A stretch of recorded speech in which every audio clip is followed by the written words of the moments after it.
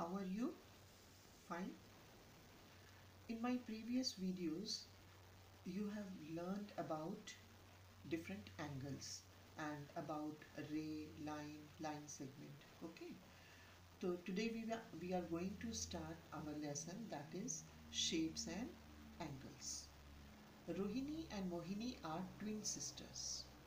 They love doing the same things one day, when they were making shapes with matchsticks, Shaila gave them a challenge. Shaila ने उन्हें challenge किया. Rohini will make a shape. Mohini has to make the same without looking at it, but she can ask questions. Rohini को एक shape बनानी है मोहिनी भी shape बनाएगी equal match stick के साथ वो केवल क्वेश्चंस पूछ सकती है लेकिन उसकी शेप को देख नहीं सकती है। Oh that is so simple उसने कहा, ये तो बड़ा आसान है। रोहिणी मेड दिस शेप अब आप देख रहे हो कि रोहिणी ने ये वाली शेप बनाई है। ये कौन सी शेप है? हेक्सागन आप सभी जानते हैं हेक्सागन है सिक्स साइड्स आप लोगों ने भी ये शेप्स बनानी है। ठीक है? Triangle square pentagon hexagon heptagon या सेप्टागॉन भी आप इसको बोल सकते हैं ऑक्टागन डेकागन इस तरह से ये शेप्स के बारे में आप जानते भी हो, ठीक है? तो रोहिणी ने ये वाली शेप बना दी। मोहिनी कहती है, उससे क्योंकि उसको क्वेश्चंस पूछने हैं तो वो क्वेश्चन पूछ रही है is it a closed shape और एन ओपन शेप क्लोज्ड है या ओपन है? रोहिणी कहती है it is a closed shape Mohini asks how many sides are there तुमने जो शेप बनाई है, उसकी साइड्स कितनी है? Rohini gives the answer it has six sides Mohini made this अब जो मोहिनी ने पिक्चर बनाई सिक्स मैच स्टिक के साथ जो शेप बनाई है, वो कुछ इस तरह से बनाई now you give the answers is it a closed shape yes. क्या लिखेंगे? Yes. Does it have six sides? Yes. But it is not the same as the one made by rohini लेकिन ये तो रोहिणी की तरह नहीं है। So Mohini tried again Mohini ने फिर से दूसरी शेप बनाई सिक्स मैच स्टिक के साथ। This is what she made और दूसरी बार जब उसने बनाई तो इस तरह से बना दी। Is it a close shape with six sides तो वो पूछती है कि क्या ये क्लोज शेप है सिक्स साइड से? क्या आपको ये क्लोज शेप लग रही है? नहीं। ये थ्री एक ट्राइंगल उधर है, एक ट्राइंगल इधर है। तो आपका आंसर यहाँ पे नो आएगा। Is it the same as the one made by Rohini? No Rohini की तरह तो ये है ही नहीं क्योंकि उसने तो हेक्सागन बनाया था। Is there some way to see in what way these shapes are different तो हम इसको किस तरह से लिखेंगे? These shapes are different in by their shapes angle से भी डिफरेंट होंगे, लेकिन अभी हम इसमें केवल यही लिखेंगे these shapes are different in shapes red colour में, Mohini ट्रा tried again but got different shapes Mohini ने फिर से कोशिश की सिक्स मैच स्टिक के साथ शेप्स बनाने की. Guess and make two more shapes Mohini could have made. आपको यहाँ पे दो शेप और बना के दिखानी है, जो अगर मोहिनी ने सिक्स मैच स्टिक के साथ कोशिश की होगी तो आप इस तरह से सिक्स मैच स्टिक के साथ one two three four five six एक तो वो इस तरह से बना सकती है सिक्स मैच स्टिक के साथ और दूसरी वो one two three four five six बच्चों, इस तरह से भी एक शेप बन सकती है जो कि हम स्टिक ड्राइंग में चेयर बनाने के लिए करते हैं। If you want to make chair तो इस तरह से ये चेयर का शेप ले लेती है। तो आप सिर्फ़ सिक्स मैच स्टिक से आप इस तरह की शेप बनाकर दिखा सकते हो आंसर के लिए, ठीक है? Mohini is now tired tired हो गई थी of trying and ask Shaila what to do फिर वो पूछती, अब हम क्या करें? अब हम शेप बना के टायर्ड हो चुके हैं. शाइला कहती है if you ask for the angles that the matchsticks make at the corners you can do it oh so let us look for the angles angles के बारे में मैं आपको कल डिटेल में बता चुकी हूँ। ज़ीरो डिग्री एंगल आपको मालूम है लेस राइट एंगल मालूम है कि 90 degree angle is called right angle less than right angle जो है एक्यूट एंगल होते हैं more than right angle obtuse angle होते हैं और मोर देन 180 डिग्री अगर हो जाता है तो वो रिफ्लेक्स एंगल होते हैं। अब आपका क्वेश्चन है look at the angles marked in these shapes तो आप लोगों ने डी के साथ कोशिश भी की होगी घर में एंगल्स को मेजर करने की। किसमें मेजर करते हैं? डिग्रीज में। Can you see the difference तो फ़र्स्ट जो रोहिणी ने हेक्सागोन बनाया था आप देख रहे हो जहाँ पे भी दो रे आपस में मिल रही है वहाँ पे एक एंगल फॉर्म हो रहा है। और आप देख रहे हो कि जो Uh, सबसे ऊपर जो एंगल बन रहा है हेक्सागोन में वो राइट एंगल से थोड़ा सा ज़्यादा लग रहा है। और जो अगर हम इसको बेस लाइन मान लें तो ये ऑप्ट्यूज एंगल बन रहा है, ठीक है? इसको अगर हम बेस लाइन मान लें तो ये भी ऑप्ट्यूज एंगल बन रहा है। अगर हम इसको बेस लाइन मान लें तो ये राइट एंगल के करीब करीब है थोड़ा सा ज़्यादा है, इस तरह से। सेकेंड पिक्चर में भी आप इस तरह से देखोगे, अगर हम इसको बेस लाइन डी में मान लें तो ये ऑप्ट्यूज एंगल बन रहा है। इसमें सेकेंड पिक्चर में आप देख रहे हो कि बीच में एक एंगल ये जो है, क्या आप बता सकते हो? कल मैंने आपको समझाया था, ये कौन सा एंगल है? है ना? रिफ्लेक्स ये कौन सा एंगल है? रिफ्लेक्स इसी तरह से थर्ड पिक्चर जो मोहिनी ने बनाई है मैचस्टिक के साथ शेप जो उसने बनाई है, उसमें भी एक्यूट एंगल ज़्यादा है। ठीक है? Now see how the matchsticks make a small angle, a big angle, and a bigger angle. आपको अच्छी तरह से कल समझाया गया है।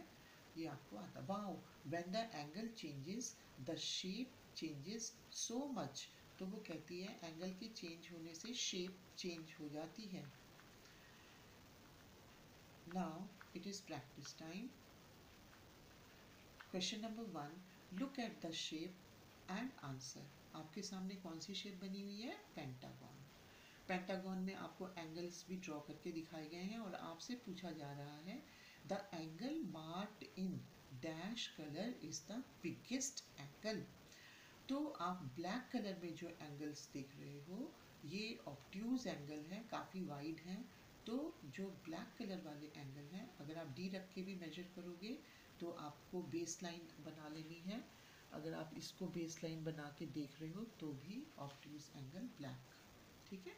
क्वेश्चन नंबर टू के लिए आपको नीचे सबसे पहले रेड कलर में आपको मैच स्टिक रख के शेप्स दिखाई जा रही हैं। और शेप को आप ध्यान से देखेंगे सबसे पहले। पहली पिक्चर स्मॉल पेंटागन है, फिर वही पेंटागन बड़े साइज़ में है, फिर उसके बाद ऑक्टागॉन है। ऑक्टागॉन बड़ा है और ऑक्टागॉन छोटे साइज़ में है। अब आपके क्वेश्चंस हैं और इसमें एंगल्स शो किए हैं डिफरेंट कलर्स के साथ। येलो है ग्रीन है और ब्लू कलर है।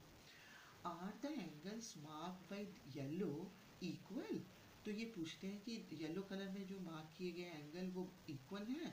क्योंकि ये पेंटागन है तो बिल्कुल इक्वल है। तो आपका आंसर आएगा yes are the angles mark with green equal अब जो ग्रीन है, वो भी सेम है। मतलब पेंटागन स्मॉल और बिगर है तो वो सेम है, इसलिए एंगल्स तो वो सेम ही बनाएँगे ना।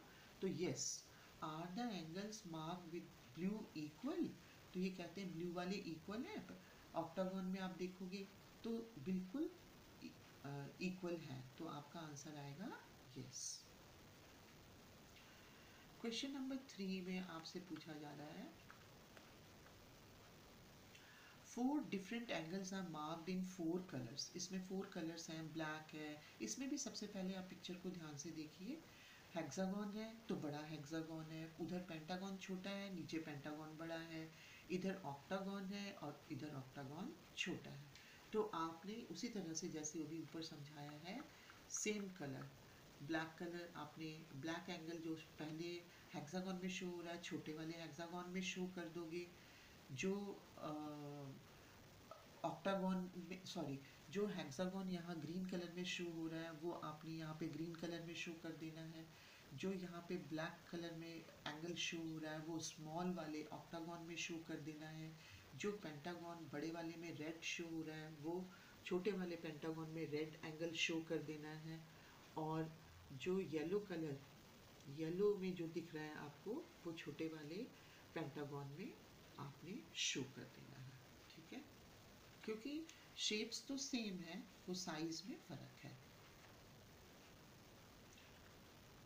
अब question number four how many different shapes can you make by changing the angle between the matchsticks in each of these tries.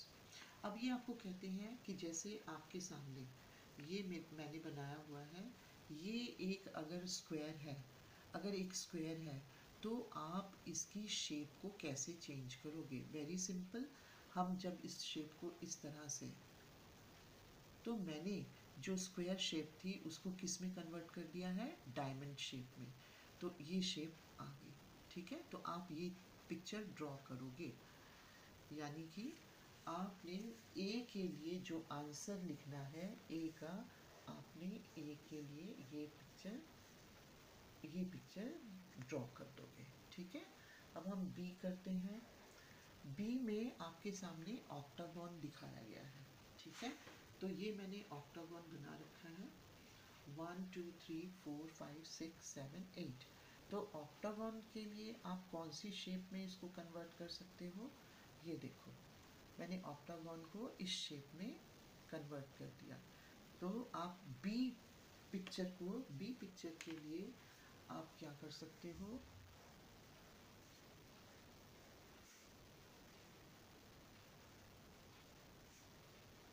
B का आंसर आप ये पिक्चर में बना सकते हो। अब सी आपके सामने पिक्चर है।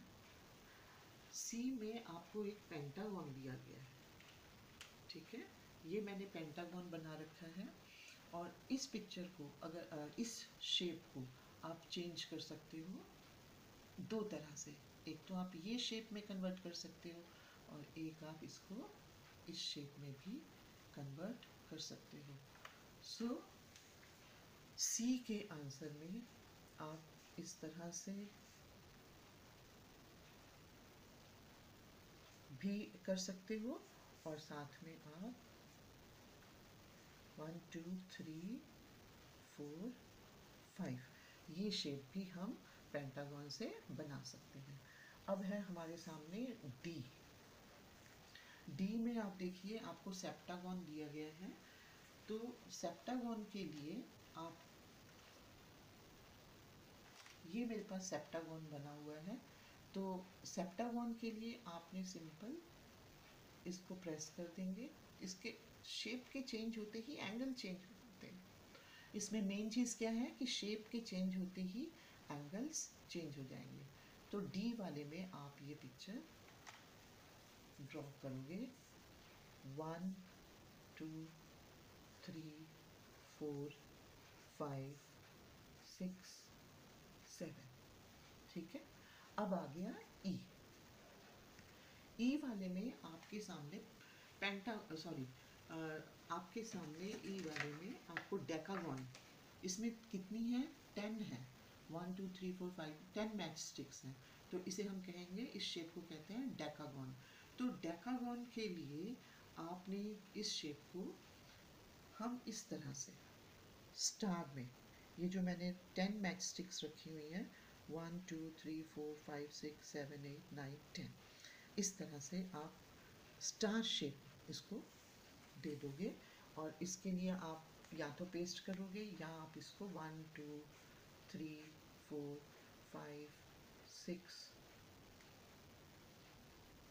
seven eight nine ten इस तरह से आपने स्टार शेप में कन्वर्ट कर सकते हो। ठीक है?